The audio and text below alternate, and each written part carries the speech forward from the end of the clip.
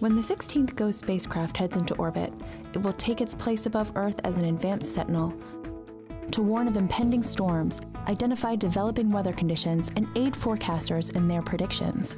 Although GOES-R is equipped with sensors that will accomplish all of those tasks better, it will be the latest in NOAA, or the National Oceanic Atmospheric Administration's historical line of spacecraft, whose focus is to help those on Earth watch the weather. NASA has provided the GOES family a reliable ride into space since the program's first launch in 1975.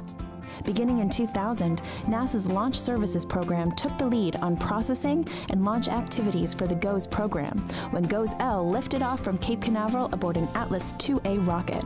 Main engine start and liftoff of the Atlas Centaur rocket with the GOES-L weather satellite. The same kind of rocket lifted GOES-M a year later. One, zero.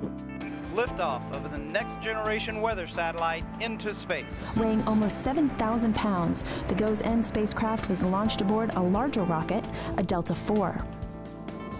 That kind of rocket was used to launch the next two GOES spacecraft as well.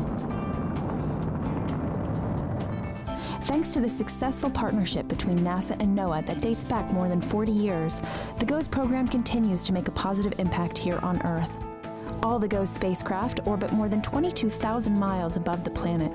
From that height, where their speed matches the rotation of the Earth, the spacecraft appear to hover in the sky, providing unblinking eyes on conditions around the Earth below.